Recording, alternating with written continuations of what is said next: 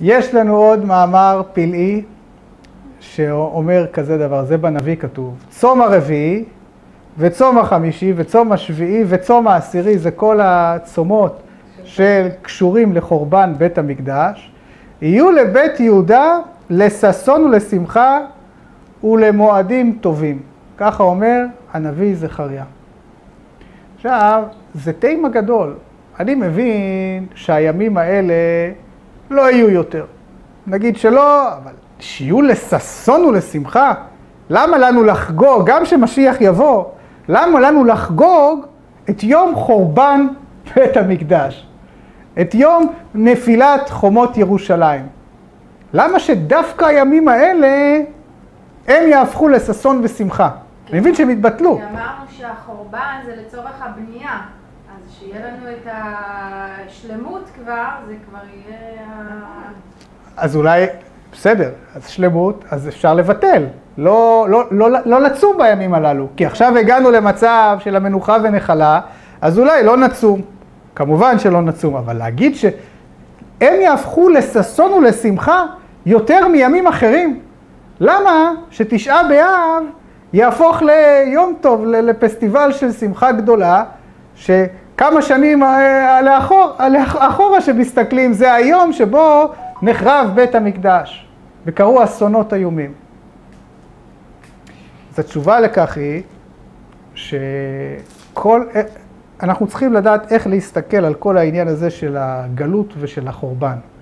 אם אנחנו מסתכלים על זה בתור עונש וזהו, אז באמת אין סיבה שהעונש הזה יהפוך אה, לששון ולשמחה.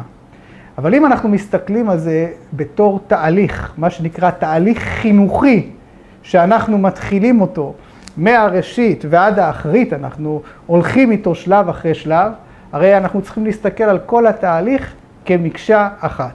משל למה הדבר דומה, מביאים בחסידות, וזה משל מאוד יפה, על רב ותלמיד. התלמיד יושב בפני רבו, ורבו מריץ לו דברים ולימודים לאורך שנים טובות. והתלמיד מבסוט עד הגג. היום אחד הוא מגיע, ובאמצע השיעור, הרב, ככה התלמיד אומר, הוא מרגיש שהוא מרוחק ממנו. הרב נראה כאילו הוא, הוא לא שם לב לתלמידים, לא שם לב אליו באופן אישי. נראה שהוא שקוע, שקוע בעצמו. שקוע, התלמיד לא יודע איפה, הוא לא, הוא לא מצליח לדסקס איתו. והתלמיד נפגע מזה. ופניו נפלו, שרבו אינו משים תשומת לב אליו, כמו בימים עברו. אבל פתאום, לאחר תקופה שהרב נראה מכונס בתוך עצמו, פתאום הרב בא ומגלה לתלמיד חוכמה חדשה, באין ערוך לחוכמות שהיה מלמד אותו קודם לכן.